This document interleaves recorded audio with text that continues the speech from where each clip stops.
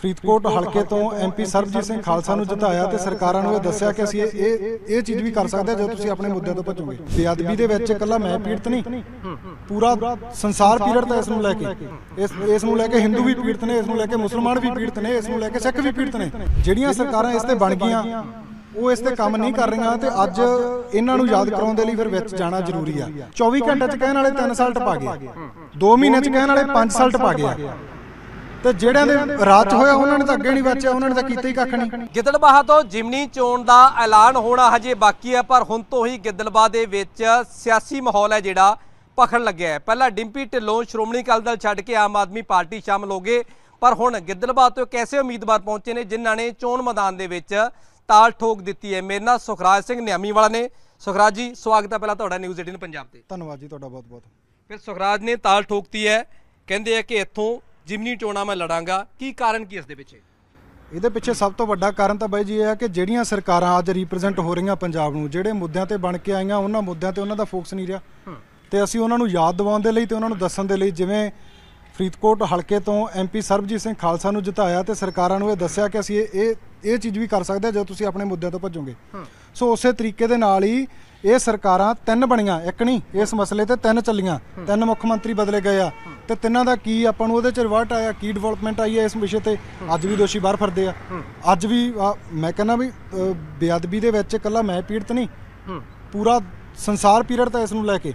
ਇਸ ਇਸ ਨੂੰ ਲੈ ਕੇ ਹਿੰਦੂ ਵੀ ਪੀੜਤ ਨੇ ਇਸ ਨੂੰ ਲੈ ਕੇ ਮੁਸਲਮਾਨ ਵੀ ਪੀੜਤ ਨੇ ਇਸ ਨੂੰ ਲੈ ਕੇ ਸਿੱਖ ਵੀ ਪੀੜਤ ਨੇ। ਸੋ ਅਸੀਂ ਉਹ ਸਾਂਝੀ ਗੱਲ ਕਰਦੇ ਹਾਂ। ਅਸੀਂ ਉਸ ਗੱਲ ਦੀ ਪ੍ਰੋੜਤਾ ਕਰਦੇ ਹਾਂ ਕਿ ਜਿਹੜੇ ਲੋਕ ਕਹਿ ਦਿੰਦੇ ਆ ਕਿ ਇਹ ਇਕੱਲਾ ਬੇਅਦਬੀ ਦਾ ਏਜੰਡਾ ਲੈ ਕੇ ਗੱਲ ਕਰਦੇ ਆ ਅਸੀਂ ਉਸ ਦੀ ਗੱਲ ਤਾਂ ਪਾਸੇ ਰੱਖਦੇ ਹਾਂ ਕਿ ਸਾਡੇ ਕੋਲੇ ਏਜੰਡਾ ਨਹੀਂ ਹੈ ਇਹ ਸਾਡਾ ਦਰਦ ਹੈ। ਜਿਹੜੀਆਂ ਸਰਕਾਰਾਂ ਇਸ ਤੇ ਬਣ ਗਈਆਂ ਉਹ ਇਸ ਤੇ ਕੰਮ ਨਹੀਂ ਕਰ ਰਹੀਆਂ ਤੇ ਅੱਜ ਇਹਨਾਂ ਨੂੰ ਯਾਦ ਕਰਾਉਣ ਦੇ ਲਈ ਫਿਰ ਵਿੱਚ ਜਾਣਾ ਜ਼ਰੂਰੀ ਆ। ਅਸੀਂ ਉਹੀ ਐਂਟਰੀ ਆ ਜਿਹੜੀ ਸੰਗਤਾਂ ਦੇ ਸਹਿਯੋਗ ਦੇ ਨਾਲ ਲੋਕਾਂ ਦੇ ਸਹਿਯੋਗ ਦੇ ਨਾਲ ਦੇਖੋ ਕਰਨਾ ਲੋਕਾਂ ਨੇ ਆ ਅਸੀਂ ਆਪਣਾ ਦੱਸ ਸਕਦੇ ਆ ਵੀ ਸਾਨੂੰ ਇਹ ਰਾਹ ਅਪਣਾਉਣੇ ਪੈਣਗੇ। ਕਿਉਂਕਿ ਜਦੋਂ ਇਹਨਾਂ ਨੂੰ ਤੁਸੀਂ ਭੇਜਿਆ ਇਹਨਾਂ ਨੇ ਕੁਝ ਨਹੀਂ ਕੀਤਾ। ਅਸੀਂ ਸੜਕਾਂ ਤੇ ਬੰਦੇ ਵੀ ਮਰਵਾਏ ਆ। ਸਾਡੇ ਇਸ ਦੀ ਬੇਅਦਬੀ ਵੀ ਹੋ ਗਈ। ਅਸੀਂ ਉਦੋਂ ਵੀ ਸੜਕਾਂ ਤੇ ਬੈਠੇ ਆ ਅਸੀਂ ਅੱਜ ਵੀ ਅਸੀਂ ਅੱਜ ਤੜਕੇ ਵੀ ਪ੍ਰੋਟੈਸਟ ਕਰਕੇ ਆਏ ਆ ਤਿੰਨ ਤਿੰਨ ਸਰਕਾਰਾਂ ਬਦਲ ਗਈਆਂ। ਆਖਰ ਵਿਸ਼ਵਾਸ ਕਿਉਂ ਨਹੀਂ ਸਰਕਾਰਾਂ ਤੁਹਾਡਾ ਰਿਹਾ? ਪਹਿਲਾਂ ਅਕਾਲੀ ਸਰਕਾਰ ਸੀ ਕਾਂਗਰਸ ਆ ਗਈ। ਹੁਣ ਆਮ ਆਦਮੀ ਪਾਰਟੀ ਸਰਕਾਰ ਹੈ। ਸਰਕਾਰ ਕਹਿੰਦੀ ਕਿ ਅਸੀਂ ਕੰਮ ਕਰ ਰਹੇ ਹਾਂ ਆਰੋਪੀਆਂ ਨੂੰ ਫੜ ਰਹੇ ਹਾਂ। ਕਿੱਥੇ ਬਾਈ ਜੀ? 24 ਘੰਟੇ ਚ ਕਹਿਣ ਵਾਲੇ 3 ਸਾਲ ਟਪਾ ਗਿਆ। 2 ਮਹੀਨੇ ਚ ਕਹਿਣ ਵਾਲੇ 5 ਸਾਲ ਟਪਾ ਗਿਆ ਤੇ ਜਿਹੜਿਆਂ ਦੇ ਰਾਜ 'ਚ ਹੋਇਆ ਉਹਨਾਂ ਨੇ ਤਾਂ ਅੱਗੇ ਨਹੀਂ ਬਚਿਆ ਉਹਨਾਂ ਨੇ ਤਾਂ ਕੀਤਾ ਹੀ ਕੱਖ ਨਹੀਂ। ਸੋ ਗੱਲ ਇੱਥੇ ਆਉਂਦੀ ਆ ਕਿ ਜਦੋਂ 2 ਮਹੀਨੇ ਦਾ ਲਾਰਾ ਲਾ ਕੇ 5 ਸਾਲ ਟਪਾਏ ਜਾ ਸਕਦੇ ਆ 24 ਘੰਟਿਆਂ ਦਾ ਕਹਿ ਕੇ 3 ਸਾਲ ਟਪਾਏ ਜਾ ਸਕਦੇ ਆ ਤੇ ਉਹਦੇ ਚ ਪ੍ਰਾਪਤੀ ਕੀ ਆ? ਦੋਸ਼ੀਆਂ ਦੀਆਂ ਐਪਲੀਕੇਸ਼ਨਾਂ ਤੇ ਕੇਸ ਟ੍ਰਾਂਸਫਰ ਹੋ ਗਏ। ਦੂਜੀ ਪ੍ਰਾਪਤੀ ਇਹ ਆ ਕਿ ਜਿਹੜਾ ਮੁੱਖ ਦੋਸ਼ੀ ਆ ਇਸ ਬੇਅਦਬੀ ਦਾ ਉਹਦੇ ਤੇ 295 ਇਹ ਤਹਿਤ ਜਿਹੜਾ ਹਜੇ ਮੁਕੱਦਮਾ ਨਹੀਂ ਚਾਲੂ ਕੀਤਾ ਜਾ ਰਿਹਾ ਉਹ ਤੇ ਰੋਕ ਲਾਈ ਹੋਈ ਆ। ਜੇ ਤੀਸਰੀ ਰਾਜਨੀਤਿਕ ਗੱਲ ਕਰੀਏ ਤੇ ਪੰਜਾਬ ਦੇ ਜਿੰਨੇ ਇਹਨਾਂ ਨੇ ਵਾਅਦੇ ਕੀਤੇ ਆ ਕਿਹੜੇ ਪੂਰੇ ਕੀਤੇ ਆ ਕਿੱਥੇ ਬੀਬੀਆਂ ਦੇ ਪੈਸੇ? ਕਿੱਥੇ ਉਹ ਜਿਹੜੀਆਂ ਪੈਨਸ਼ਨਾਂ ਲਾਗੂ ਕਰਨ ਦੀ ਗੱਲ ਕਰਦੇ ਆ? ਕਿੱਥੇ ਆ ਨੌਜਵਾਨੀ ਬੇਰੁਜ਼ਗਾਰੀ ਆ ਜਿਹੜੀ? ਕਿੱਥੇ ਆ ਪੰਜਾਬ ਦੇ ਵਿੱਚ ਗੋਰੇ ਕੰਮ ਕਰਨਗੇ?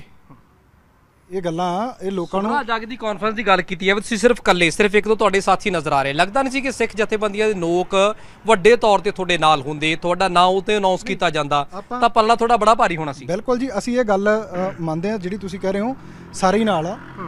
ਇਹ ਤਾਂ ਸਿਰਫ ਅਸੀਂ ਉਹਨਾਂ ਲੋਕਾਂ ਨੂੰ ਜਿਵੇਂ ਕੱਲ ਦੀ ਗੱਲ ਚੱਲੀ ਜਾਂਦੀ ਆ ਤੇ ਇੱਕ ਸਪਸ਼ਟੀਕਰਨ ਦਿੱਤਾ ਵੀ ਹਾਂ ਅਸੀਂ ਲੜਾਂਗੇ ਲੜ ਸਕਦੇ ਹਾਂ। ਉਹ ਤਾਂ ਉਹ ਤੁਹਾਡੇ ਮਾਧਿਅਮ ਰਾਹੀਂ ਉਹ ਸਾਰੇ ਮੀਡੀਆ ਦੇ ਮਾਧਿਅਮ ਰਾਹੀਂ ਅਸੀਂ ਦੱਸਿਆ ਵੀ ਲੜ ਸਕਦੇ ਹਾਂ ਤੇ ਲੋਕਾਂ ਨੂੰ ਸਹਿਯੋਗ ਦੀ ਅਪੀਲ ਕੀਤੀ ਆ। ਦੂਸਰੀ ਗੱਲ ਮੈਂ ਇੱਥੇ ਕਹਿਣੀ ਚਾਹੁੰਦਾ ਵੀ ਕੱਲਾ ਬੇਅਦਬੀ ਨੂੰ ਲੈ ਕੇ ਨਹੀਂ ਆ ਗਿੱਦੜਬਾਹੇ ਦੀ ਸਿਆਸਤ ਪਿਛਲੇ ਲੰਮੇ ਸਮੇਂ ਤੋਂ ਵੱਡੇ ਚਿਹਰੇ ਰਹੇ ਆ। ਇੱਥੇ ਬਾਦਲਾਂ ਦਾ ਰਾਜ ਰਿਹਾ ਇੱਥੇ ਮਨਪ੍ਰੀਤ ਦਾ ਰਾਜ ਰਿਹਾ। ਇੱਥੇ ਰਾਜਾ ਵੜਿੰਗ ਆਪਣੀ ਧੌਂਸ ਜਮਾਉਂਦਾ ਰਿਹਾ ਕਾਂਗਰਸ ਦਾ ਪ੍ਰਧਾਨ ਹੈ। ਤੋਂ ਮੈਨੂੰ ਇਹ ਦੱਸੋ ਵੀ ਇੱਥੇ ਡਿਵੈਲਪਮੈਂਟ ਵੀ ਕੀ ਹੋਈ ਆ? ਹਸਪੀਟਲਾਂ ਦੇ ਵਿੱਚ ਲੋਕਾਂ ਨੂੰ ਧੱਕੇ ਉਹ ਡਿਵੈਲਪਮੈਂਟ ਨਹੀਂ ਹੈਗੀ। ਗਿੱਦੜਬਾਹੇ ਦੇ ਲੋਕਾਂ ਦੇ ਘਰਾਂ 'ਚ ਪਾਣੀ ਨਹੀਂ ਹਜੇ ਤੱਕ ਆ ਰਿਹਾ। ਸੀਵਰੇਜ ਇੱਥੇ ਪ੍ਰੋਬਲਮ ਪੈ ਰਹੀ ਆ। ਪਿੰਡਾਂ ਦੀ ਗੱਲ ਕਰੀਏ ਉਹਨਾਂ ਦੇ ਪਿੰਡਾਂ ਦੇ ਵਿੱਚ ਗਲੀਆਂ ਕੱਚੀਆਂ ਪਈਆਂ ਗਈਆਂ ਤੇ ਉਹਦੇ ਵਿੱਚ ਜਿਹੜੇ ਛੱਪੜਾਂ ਦਾ ਪਾਣੀ ਨਹੀਂ ਕੱਢਣ ਦੇ ਰਹੇ ਉਹ ਪਿੱਛੇ ਜੇ ਮੈਂ ਜਾ ਕੇ ਵੀ ਆਇਆ ਸੀ ਦੋ ਚਾਰ ਪਿੰਡਾਂ 'ਚ ਅਸੀਂ ਜਦੋਂ ਗਏ ਆ ਤੇ ਉੱਥੇ ਦੇਖਿਆ ਕਿ ਉਹ ਛੱਪੜਾਂ ਦਾ ਪਾਣੀ ਮੀਂਹ ਦੇ ਨਾਲ ਗਲੀਆਂ ਭਰੀਆਂ ਹੋਈਆਂ ਤੇ ਵੀ ਕੱਢਣ ਕਿਉਂ ਨਹੀਂ ਦੇ ਰਹੇ? ਕੱਢਣਾ ਕਿਉਂ ਨਹੀਂ ਦੇ ਰਹੇ ਵੀ ਇਹ ਤਾਂ ਇੱਥੇ ਰਾਜਾ ਵੜਿੰਗ ਦਾ ਜ਼ੋਰ ਚੱਲਦਾ ਵੀ ਇਹਦੇ ਬੰਦੇ ਨੇ ਕਹਤਾ ਵੀ ਮੇਰੇ ਇੱਥੋਂ ਥਾਂਵੇ ਦੀ ਪਾਈਪ ਨਹੀਂ ਲੰਘ ਸਕਦੀ। ਸੋ ਇਹ ਚੀਜ਼ਾਂ ਜਿਹੜੀਆਂ ਅ, ਕੱਲੀਆਂ ਫੋਕਸ ਆ ਜਿਹੜਾ ਇਸ ਤੇ ਨਹੀਂ ਰਹੂਗਾ ਪੂਰੀ ਪੂਰੇ ਗਿੱਦੜਵਾਹੇ ਦੇ ਕੰਮਾਂ ਤੇ ਵੀ ਰਹੂਗਾ। ਤੇ ਨਾਲ ਇਹਨਾਂ ਨੂੰ ਅਸੀਂ ਸਵਾਲ ਵੀ ਕਰਾਂਗੇ ਵੀ ਭਾਈ ਜਿਹੜੀਆਂ ਗੱਲਾਂ ਦੇ ਉੱਤੇ ਤੁਸੀਂ ਆਏ ਸੀ ਉਹਨਾਂ ਦੇ ਖਰੇ ਨਹੀਂ ਉਤਰੇ ਤਾਂ ਅਸੀਂ ਖੁਦ ਨਿਮਾਣੇ ਹੋ ਕੇ ਲੋਕਾਂ ਨੂੰ ਅਪੀਲ ਕਰਦੇ ਹਾਂ ਬੇਨਤੀ ਕਰਦੇ ਹਾਂ ਅਸੀਂ ਆਵਾਜ਼ ਪਹਿਲਾਂ ਵੀ ਚੱਕਦੇ ਰਹੇ ਹਾਂ ਹੁਣ ਵੀ ਚੱਕਦੇ ਹਾਂ ਤੇ ਅੱਗੇ ਵੀ ਚੱਕਦੇ ਰਹਾਂਗੇ। ਗੱਲ ਜਿੱਥੇ ਸਾਡੇ ਇਸ਼ਟ ਦੀ ਆਉਂਦੀ ਆ ਉੱਥੇ ਇਹ ਵਜ਼ੀਰੀਆਂ ਇਹ ਰਾਜਨੀਤੀਆਂ ਨਿੱਕੀਆਂ ਰਹਿ ਜਾਂਦੀਆਂ। ਸੋ ਲੋਕਾਂ ਦੇ ਸਹਿਯੋਗ ਦੀ ਇਸ ਕਰਕੇ ਗੱਲ ਕਰਦੇ ਆ ਕਿ ਜੇ ਲੋਕ ਸਾਥ ਦਿੰਦੇ ਆ ਅਸੀਂ ਸਾਥ ਦਿੱਤਾ ਸਰਕਾਰਾਂ ਬਣੀਆਂ।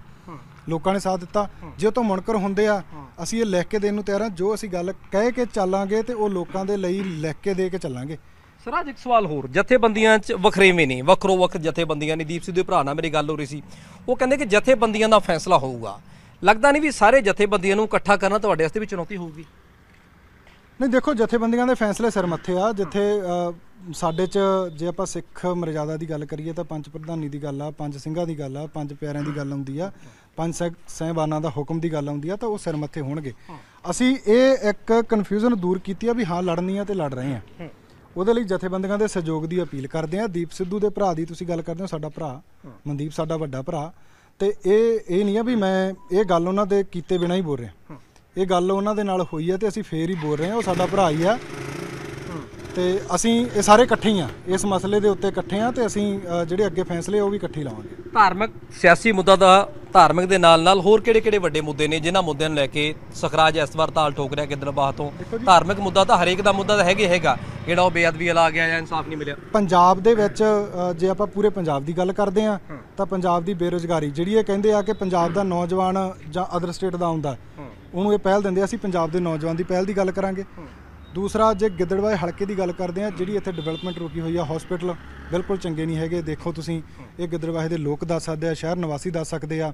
ਇੱਥੇ ਪਾਣੀ ਦੀ ਪ੍ਰੋਬਲਮ ਆ ਸੀਵਰੇਜ ਦੀ ਪ੍ਰੋਬਲਮ ਆ, ਲੋਕਾਂ ਦੇ ਘਰਾਂ 'ਚ ਪਾਣੀ ਵੜਦਾ, ਨਿਕਾਸੀ ਦੀ ਪ੍ਰੋਬਲਮ ਆਉਂਦੀ ਆ। ਇਹ ਬਹੁਤ ਸਾਰੀਆਂ ਚੀਜ਼ਾਂ ਜਿਹੜੀਆਂ।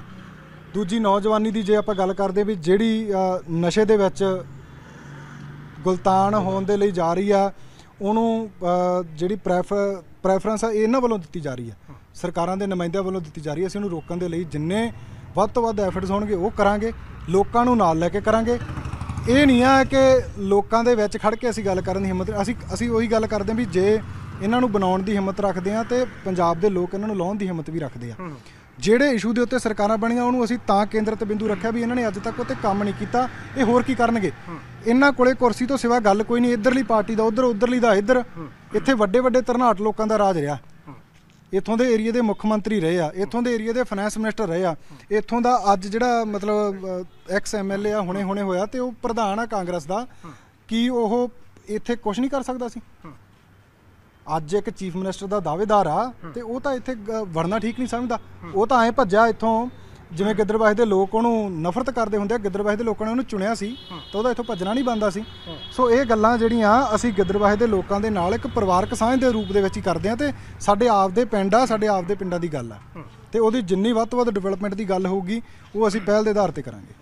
ਬਿਲਕੁਲ ਸੁਖਰਾਜ ਸਿੰਘ ਨੇ ਨਿਆਮੀਵਾਲਾ ਔਰ ਇਹਨਾਂ ਦੇ ਪਿਤਾ ਸ਼ਹੀਦ ਹੋਏ ਸੀਗੇ ਔਰ ਕਿਤੇ ਨਾ ਕਿਤੇ ਜਾ ਕੇ ਸੁਖਰਾਜ ਸਿੰਘ ਨੇ ਟਾਲ ਠੋਕ ਦਿੱਤੀ ਹੈ ਗਿੱਦੜਬਾਹਾ ਤੋਂ ਕਿ ਜਿਮਨੀ ਚੋਣ ਦੇ ਵਿੱਚ ਆਜ਼ਾਦ ਉਮੀਦਵਾਰ ਦੇ ਤੌਰ ਤੇ ਚੋਣਾਂ ਲੜਨਗੇ।